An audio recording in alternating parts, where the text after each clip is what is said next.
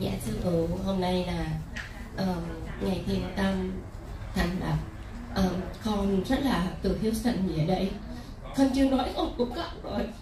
Tại vì con này dễ biết sao con biết ướt dễ sợ luôn.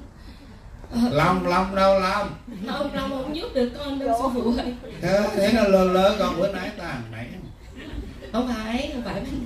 Ê, ừ, cái thời lúc hồi mấy lần trước con về đây á, thì um, cần sư phụ hơi nhiều cho nên á, con cứ nhìn hoài những cái lúc mà sư phụ có một nắm xôi tới nhà rồi một ly cà phê.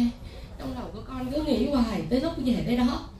Thì cứ cái cái đó nó cứ nằm trong đầu con hoài con cứ nhớ nhớ hoài một người rất là giàu một tỷ phú mà không có bận tâm gì hết mà có một nắm xôi một ly cà phê có bao nhiêu tiền mang cho hết chúng sanh mua này mua nọ. Không lòng con. Lúc nào cũng cảm thấy rất là thương sư phụ rồi thương sư mẫu nữa. Thì con về. Thì có mấy lần trước đó thì sư phụ nói trong kinh à, đọc lúc nào cũng được đọc lúc nào cũng được. Thì con thì con hứng giờ nào có đọc giờ đó. Rồi sau này thì sư phụ nói ôi trời ơi đọc như vậy hả? Là chưa em không biết lúc nào đi lúc nào cũng biết như thế nào. Thế là con mới sau đó thì con mới nghĩ à ok vậy thì sư phụ đọc 5 giờ, con dậy du sành con dậy 7 giờ. Con dậy bây giờ thì con cũng dậy, con tắm rửa, xong con ra con cũng ngồi thiền, con tụng kinh. Thì con tụng kinh thì không hiểu sao thì ở dạo này con thường hay bệnh. Mà con bệnh á, con tưởng con con, giờ con càng tiếng mà con nằm ngồi bên cạnh mọi người, con không lay ai hết. Mà con cứ ho, con ho ba tuần liên tiếp. Mà con không biết con bị bệnh gì.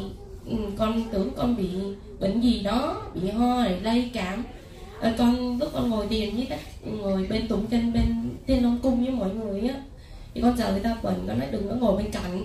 Mà tới ngồi bên cạnh không ai bệnh hết mà con về con cứ bệnh nữa. Bệnh hoài tới giờ hôm nay cái cái con cứ thản tiếng con không hiểu lý do tại sao. Thì con mới ngồi xuống mẫu mẫu ơi sao không không biết con bị bệnh gì mà um, con không hiểu sao mà bây giờ con con tụng kinh thì con hát à, con ngồi thiền con ngồi. Nhưng mà con hiểu sao con cứ bệnh như thế này con không biết là sao. Và nhiều khi con nói trời con thương sư phụ con không biết làm sao nữa. Mà sư phụ giờ muốn về Việt Nam càng sớm để độ chúng sanh. Con cũng con cũng con cũng có lòng như vậy nữa. Mà giờ con không biết làm sao. Thì mẫu nói con thôi tụng kinh đi tụng kinh ngồi thiền đi tụng kinh ngồi thiền đi thì con bây giờ là con cứ sáng nào là 5 giờ sáng 7 giờ sáng. Là bên Texas con lúc đầu thì 5 giờ sáng. Nhiều khi con ngủ tới 12 giờ con ngủ cái tức đồng hồ tăng tăng tăng 5 giờ con dậy. Con dậy chịu không nổi. Xong rồi nói ồ chắc chịu không nổi rồi chắc dậy giờ 7 giờ 7 giờ bây giờ. Con kéo dài gần một tháng này con bệnh cứ ho cứ bệnh hoài.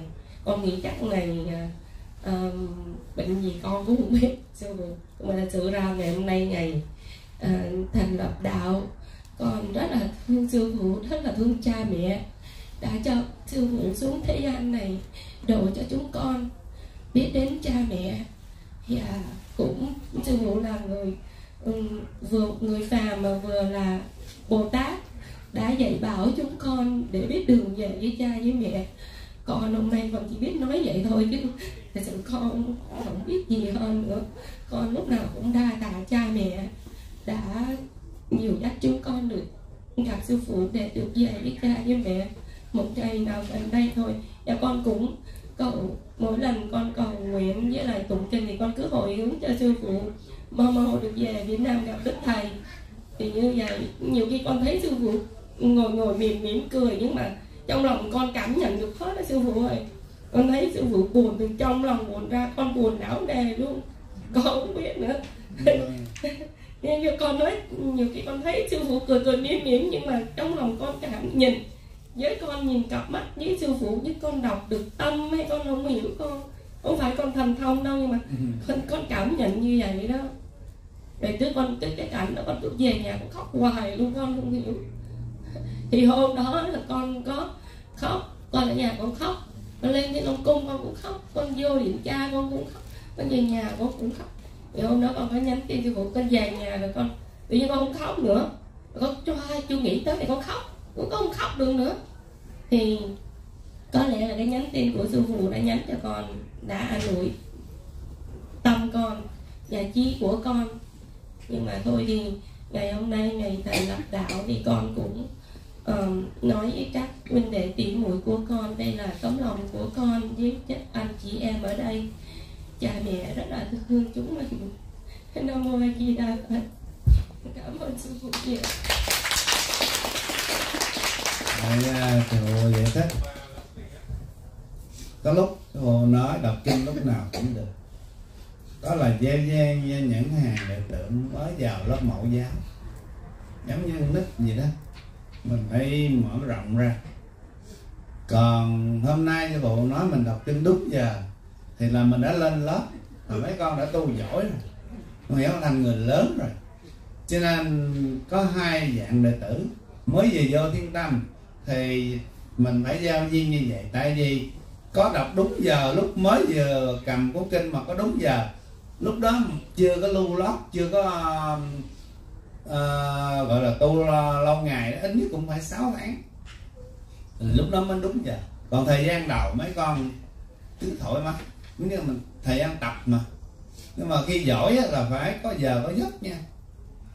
Còn tùy theo trong trong nhóm. Của họ thiên các con có đứa thấp đứa cao mà. Cho nên mấy đứa thấp thì không sao chứ.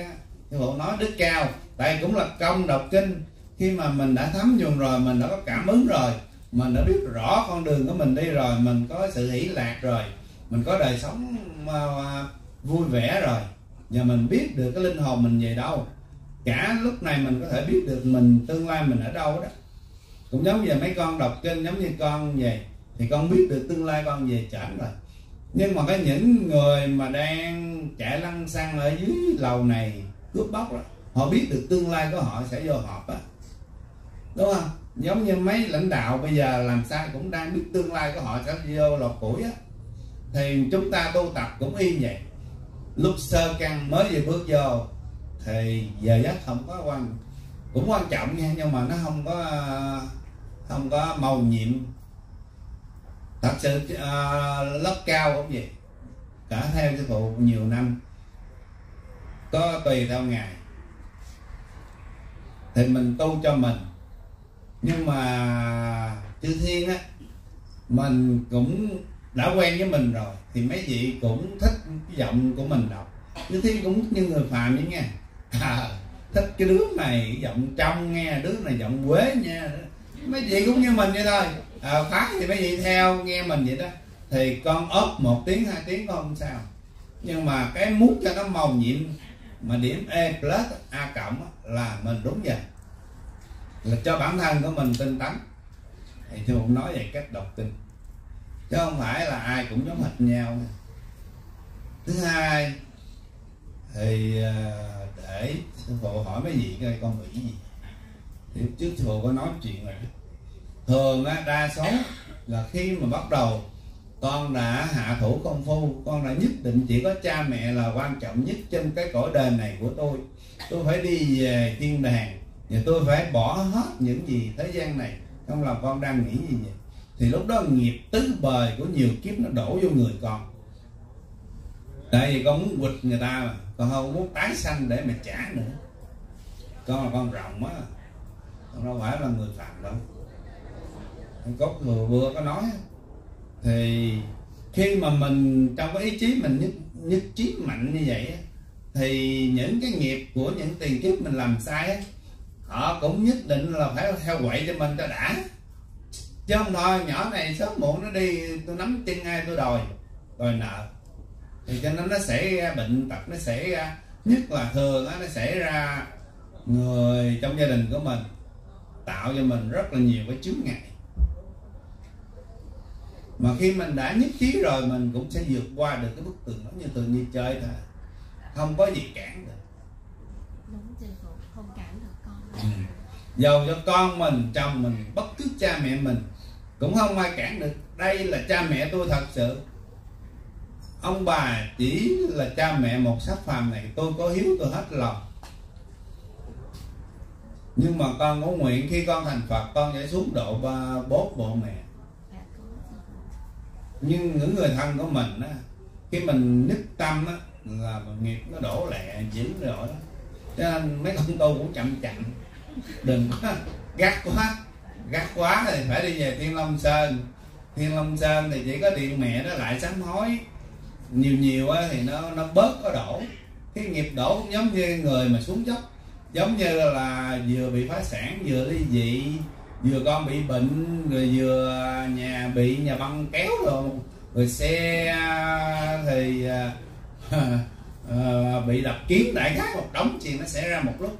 Cái đó gọi là tứ bề thọ địch. Khi mình hạ thủ không thua á tôi hội đã gặp cái đó rồi. Nhưng mà khi mình có cha có mẹ mình đã nắm được một một cái thao để mình và cái đuốc để mình đi rồi thì mình không còn gì để mình sợ trong bóng tối của cái cõi vô minh cái cõi ta bà này.